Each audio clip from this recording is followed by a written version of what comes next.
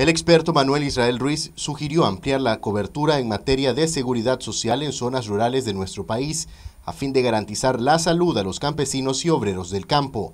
Porque en este momento de invierno, digamos, hay mucha serpiente, eh, los árboles están un poco lucios y entonces, o a veces las corrientes pueden causar el accidente al trabajador o la muerte del trabajador en caso de que se ahogue la bestia o etcétera, y entonces tal vez el, trabajador va en el caballo y entonces ahí se ahogan los, dos.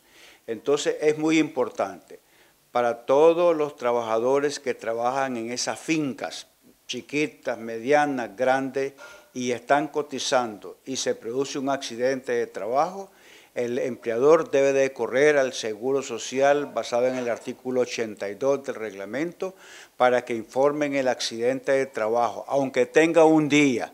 Si alguien le dice allí que no tienen derecho porque eh, no tienen los tres años cotizados, eso no tiene pertinencia, sino que hoy llegó a trabajar el campesino y hoy se accidentó, entonces hay que reportar ese accidente para que gocen de todos los derechos del seguro de riesgo profesional.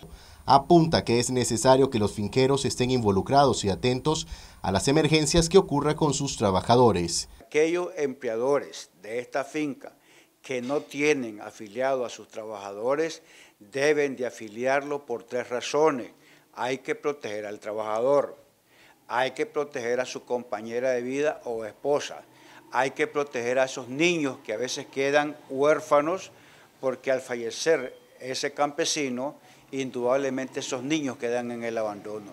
De allí la importancia que el finquero, por muy chiquito que sea, si tiene dos, tres trabajadores, afílilo en el régimen parcial.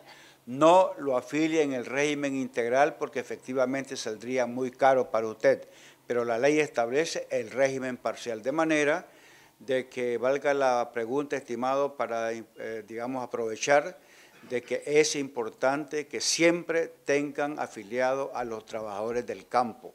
Para que tengamos una idea, en la década del 80 que se extendió a todo el país y a todas las fincas, eh, habían más o menos como unos 150 mil trabajadores permanentes, sin meter los trabajadores temporales, que traen corte de café, etcétera. Eso no, pero permanente habían 150 mil.